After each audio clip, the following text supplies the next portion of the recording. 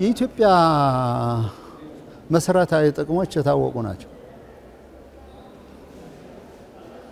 በዛሬ መሻታችን ብቻ ሳይሆን በወደፊትም ፍላጎቶቻችን ላይ የተመሰረተ ነው። ኢኮኖሚያችን ያድጋል። ዘመናዊ ቴክኖሎጂም ይስፋፋል። አካባቢያችን ባለን የ geopolitical advantage ፋይዳ ያለውን ያክል ደግሞ የትርምስ አካባቢ ነው። ኢኮኖሚያችን ካደገ የሕዝባችን ቁጥር ከፍ እያለ ከሄደ suffocated መጨናነቅ አይኖርብንም። suffocated እንደሆን እንድንጣበብ የሚፈልገው ኃይል በርካታ የተጨናነቀ ሀገር ስለ ዕለት ተግባሩና ክንውኑ ነው ሲያስብ የሚውለው።